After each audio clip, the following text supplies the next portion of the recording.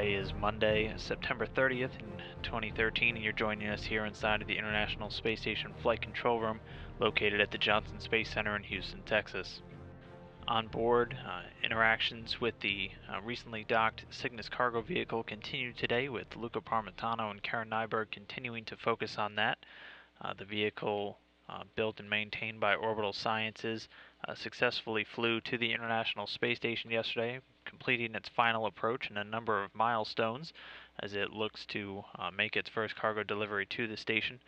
Uh, it was successfully grappled with the station's robotic arm by Parmitano and Nyberg yesterday morning uh, around 7 uh, it's around 6 a.m. Central Time and then docked successfully to the uh, Earth-facing side of the Harmony module at 7:44 a.m. Central Time that cargo craft, which is scheduled to remain attached to the International Space Station until October 22nd, uh, delivered about 1,300 pounds of cargo to the six-member uh, crew of, of, Expedition 37. Among this, uh, various student experiments, food and clothing, uh, all of which will be unloaded by the crew. Uh, that unloading uh, starting with the hatch opening, which took place today. Uh, the crew member opening up uh, the hatches uh, earlier this morning at around 3:10 a.m. Central Time to gain access into Cygnus. Again, attached right now to the Earth-facing side of the Harmony module. the crew will begin unloading some of that cargo today, having already carried out a number of items, including some of the NanoRack student experiments that have flown to the station on board. They'll be unloading the rest of the cargo uh, over the next three weeks. Again, that vehicle right now is scheduled to remain until October 22nd.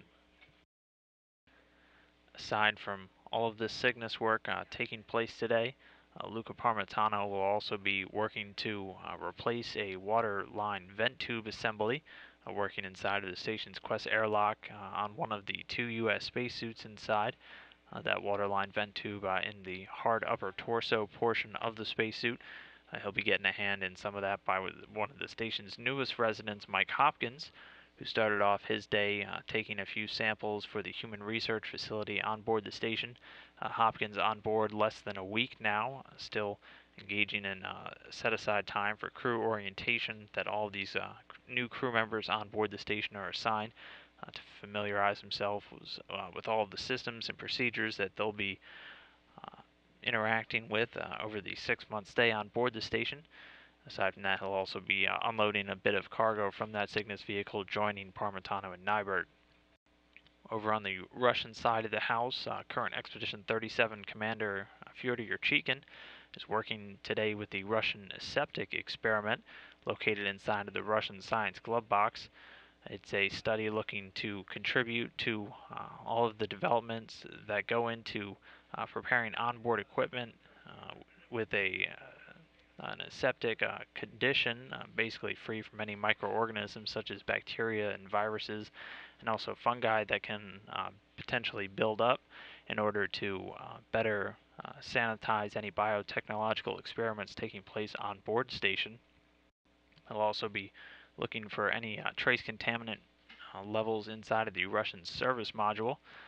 Uh, also working uh, the other two uh, Russian cosmonauts on board, focusing on some experiment work. Oleg Kotov, focusing on the Russian Konstanta experiment, which looks to find any possible approaches to protecting the enzyme systems of uh, humans and animals in spaceflight, uh, protecting them from the undesirable effects of that microgravity environment and long-term exposure.